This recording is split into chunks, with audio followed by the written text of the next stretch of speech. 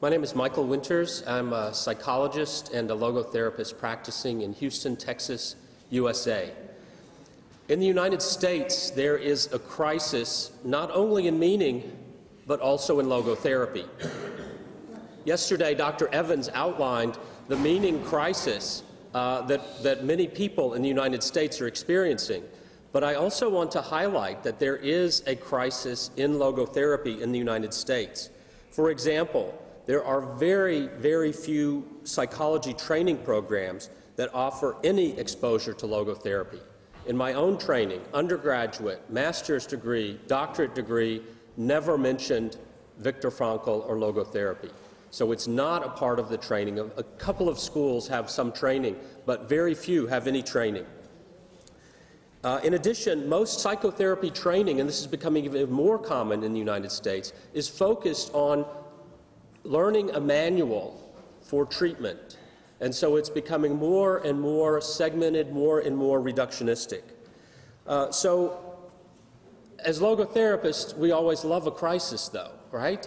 A crisis means there's an opportunity for us to make a change.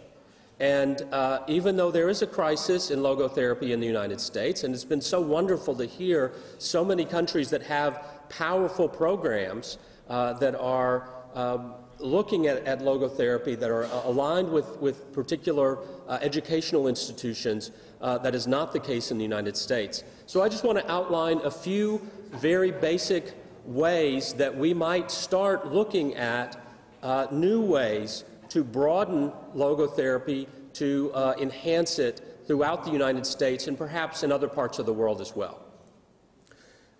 Number one, I think that it's time that we rebrand logotherapy as meaning centered psychotherapy and meaning centered approaches to life. I was glad to hear yesterday uh, Dr. Ortiz in Colombia has a meaning centered uh, institute. The problem with logotherapy is it's hard to understand if you don't already know what it means. Uh, in fact, I was talking with Alexander Vesely just the other day, his film about his grandfather. He said when you go and you try to get someone to sponsor that and you use the word logotherapy, people turn off. They don't know what you're talking about. So I think it's time to look at that and to really think about it. It doesn't mean that we're not using the same principles, it just means that we are labeling it in a way that more people can understand, more people can see it. And in fact, there is a good model for this. The idea of gestalt therapy is now labeled emotion focused therapy. It, it's more descriptive. It's easier to understand. You don't have to have a background in training to understand what it means. So I think it's really time to look at that and to move forward uh, with, with that, whether it's meaning based, whether it's meaning centered, but really looking at meaning as a central aspect uh, and, and publicizing it that way. The second thing that I think needs to be done, perhaps in the United States and, and in other places, is to have more diversity of training.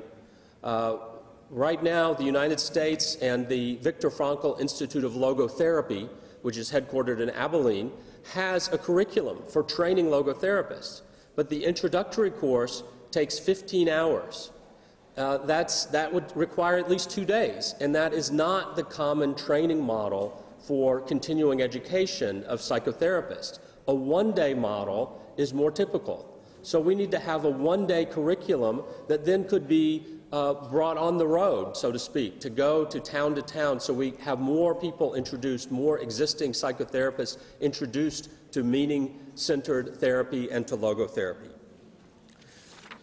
In a similar way, and I haven't really heard much about this in this conference, is uh, looking at lay education and providing some credential or some way of, of having a systematized way of training people in meaning based approaches to life.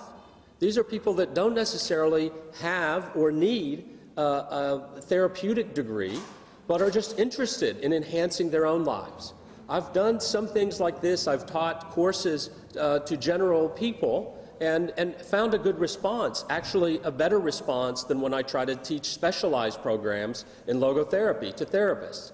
So, how do we broaden that? How do we make a common curriculum? Maybe even have a certificate program for lay people who are looking for ways to introduce this. Uh, and I've heard you know, people that are doing this in terms of businesses, in terms of education, uh, that aren't using it particularly as psychotherapy or beyond psychotherapy, but are looking at it in other ways. So, this, I think, is another piece that needs to be done. And I have two more points I just want to make quickly.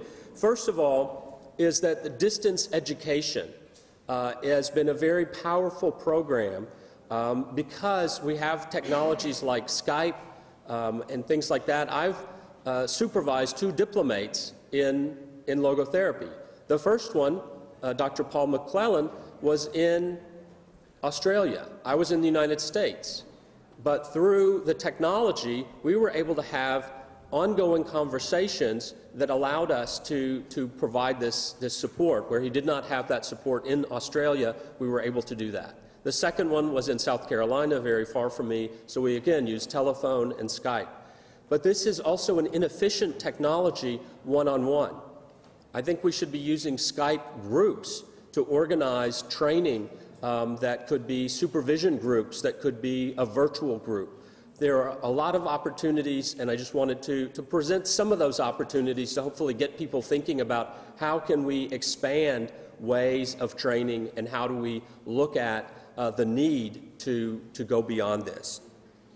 Uh, I have an announcement also that I want to make. Uh, this is uh, for Dr. Paul um, in Australia. He was not able to make it, but he does have a, a program, a new program that he is starting, and there's a way to go online and look at those programs. It's, it's a long address, so I won't uh, give it to you over the paper, but uh, I do have it. I have that information. He would really like you to look at that and is looking for others to collaborate with.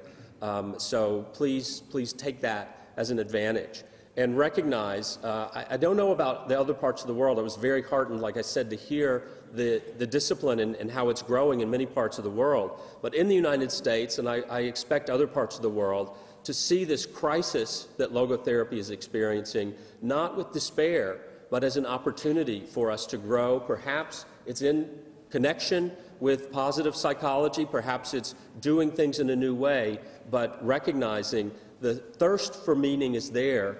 We have to find a better way to meet that thirst. Thank you.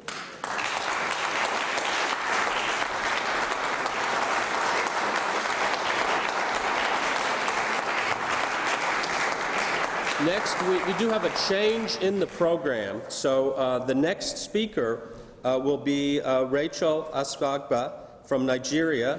Uh, and she actually has two presentations that she, one yesterday was not able to do, so she is going to present two presentations, and uh, Harold Moray will go later in the, uh, in the program. So, Rachel?